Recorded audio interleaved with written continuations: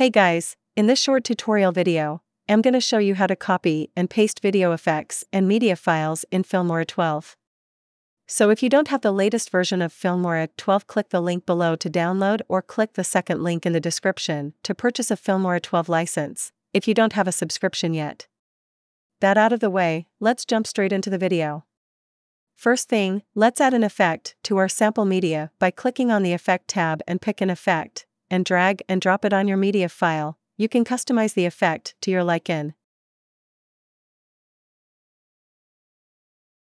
So to copy an effect, click on the media you dropped your effect and right-click on it and select Copy Effect or type in Ctrl-Alt-C on your keyboard to copy.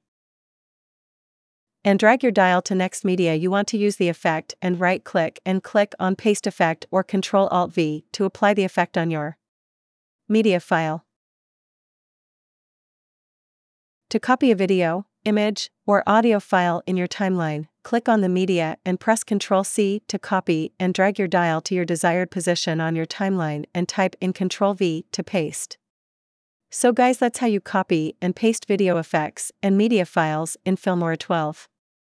So guys, if you found this tutorial helpful, please do drop a like and subscribe to the channel for more helpful content.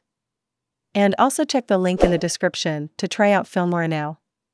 Also guys, if you are interested in the text-to-speech voice I used in this video, check the first link in the description box below or pinned comment section to get it now and see you guys on the next video. Peace.